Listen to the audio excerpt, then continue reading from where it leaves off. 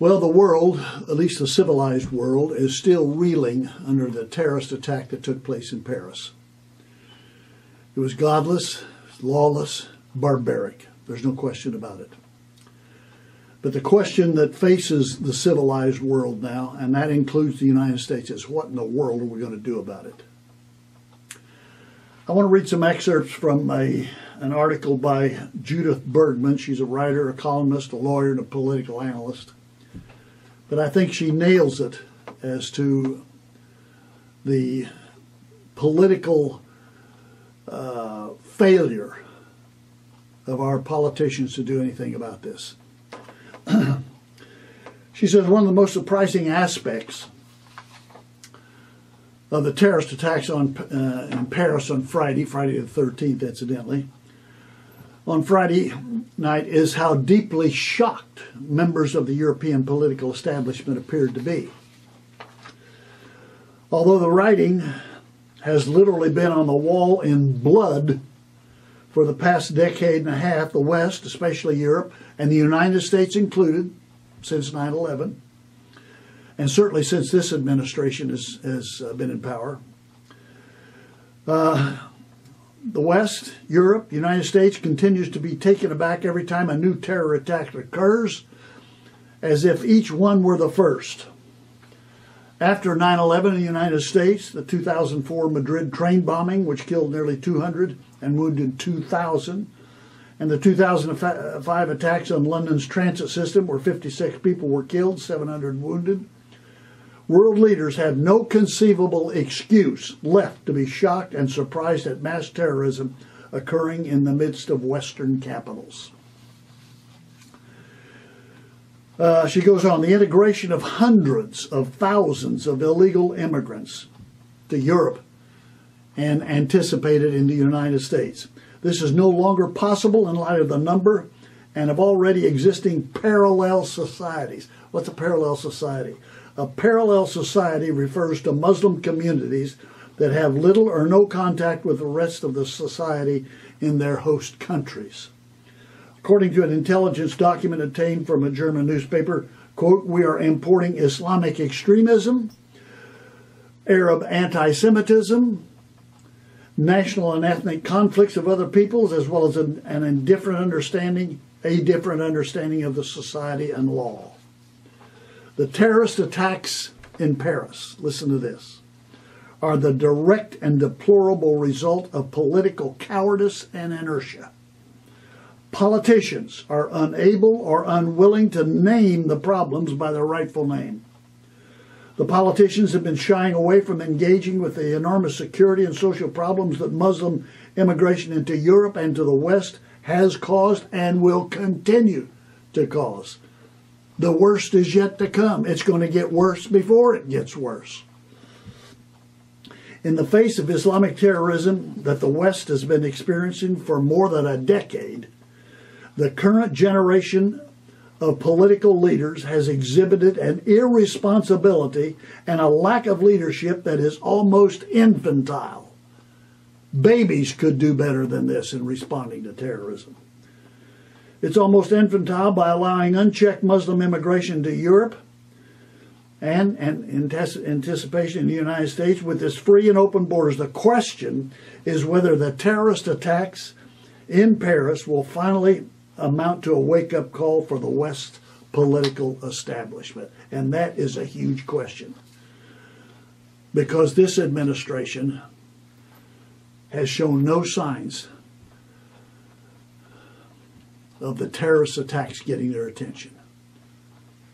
12 hours before Paris took place, the president had said Al Qaeda is constrained. Al Qaeda is not constrained by any means. and not only is this uh, a disgrace that our politicians have led us into by not doing what they ought to do, that same disgrace, I would suggest, rests upon our our shepherds. Our shepherds who have spiritually shut their mouths concerning this issue. And why have they done that? Well, many of them don't have a coherent understanding of the end times. there are different views of what's to take place in the order, the sequence of events. But if you don't have a, if our shepherds don't have a, a coherent understanding of the end times, they need to get it, and they need to get it now, for the sake of the people that they have been called to shepherd.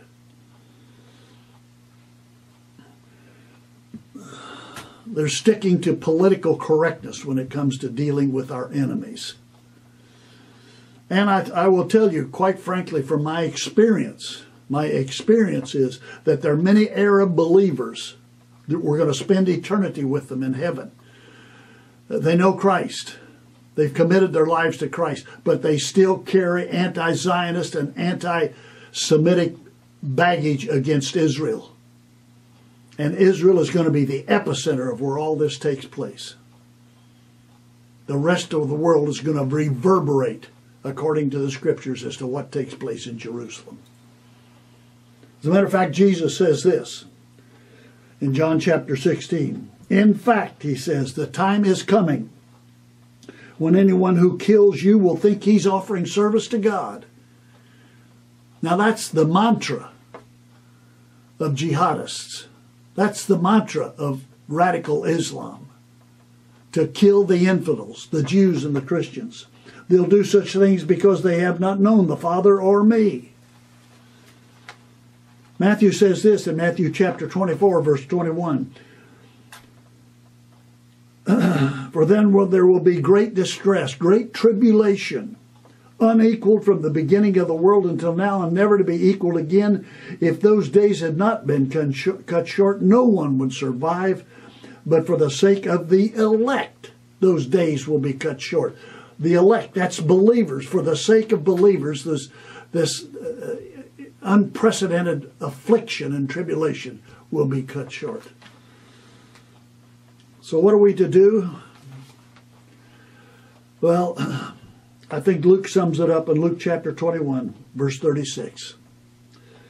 Be always on the watch. This is what the shepherd should be teaching to the, to the congregations.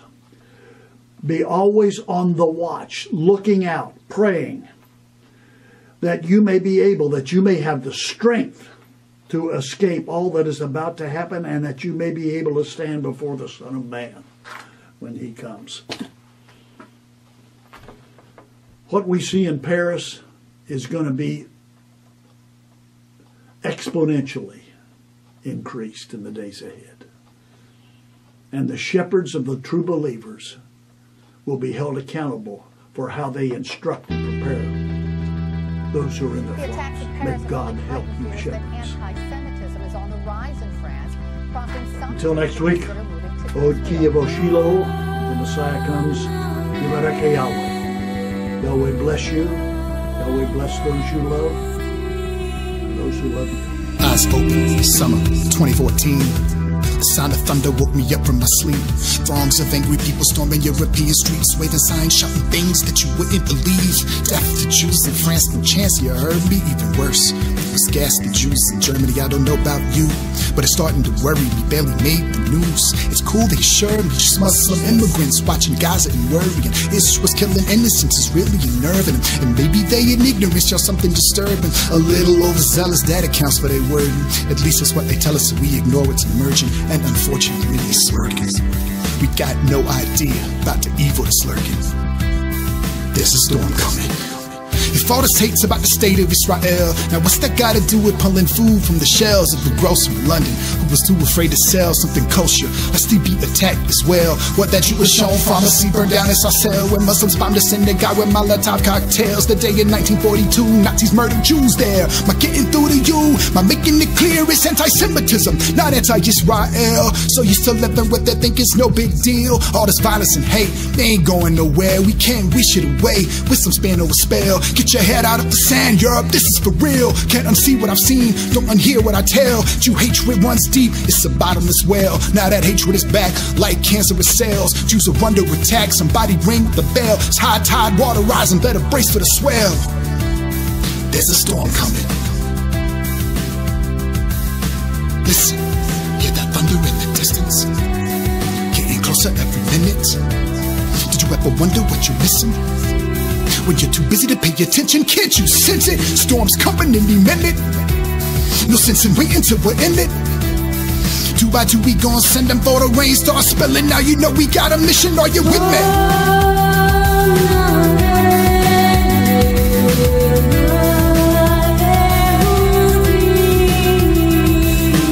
being alarmist, I ain't trying to shock. The summer wasn't anything like Kristallnacht. There was a day you see what's coming, or you choose to not.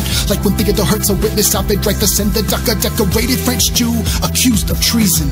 J'accuse convicted for no reason. Paris streets that were teeming with people shouting and screaming, no doubt about it, increasing. And Dreyfus couldn't appease. Cause they'd imagined a grievance like credence too to believe that maybe the Jews were the reason for all the problems they see. And Herzl watched the proceedings, and then it hit him the need of his fellow Jews for state. The only place they'd be free from the tidal wave of hate about to flood the whole region. He made his case for escape.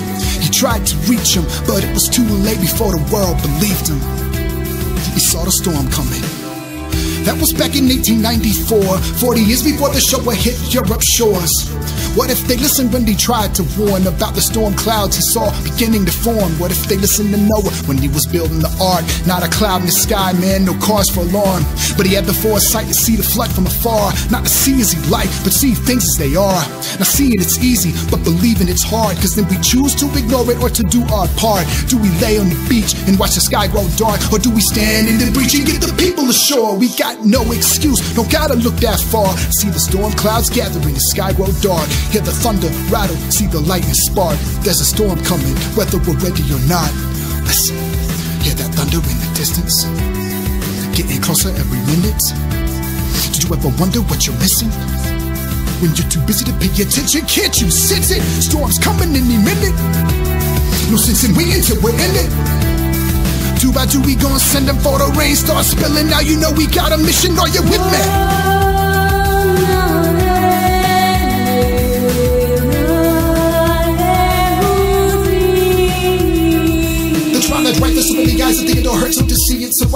The likes of ISIS then for us to believe it? They screaming death to the Jews and Hitler was right. You think they don't mean it? Just ask the four people dead outside that Belgian museum. I ain't saying be scared. I got my rhymes and my reasons. I'm talking signs and the seasons. You gotta know how to read them. So to swallow, I'm pleading. If you can follow, I'm leading. I'll do my best to get you there. I'll be your second weird. That old serpent, sown a lot to see. One day soon, he's coming to reap. Let's not wait for that fruit, man. Those roots run deep. Was there ever an age when hating Jews wasn't a thing? It comes and goes in waves like a pendulum swings, and there's a wall of water coming like you wouldn't believe. Never again, happen again. I ain't waiting to see. No, I'ma warn him about the storm, and I'ma help him to leave. El Al, the higher ground, touchdown in Tel Aviv. Up to Israel, where the showman never sleeps. We going two by two. You finally see what I mean. Headed to an ark between the Jordan and the sea. Asfonale, le you, Yudi.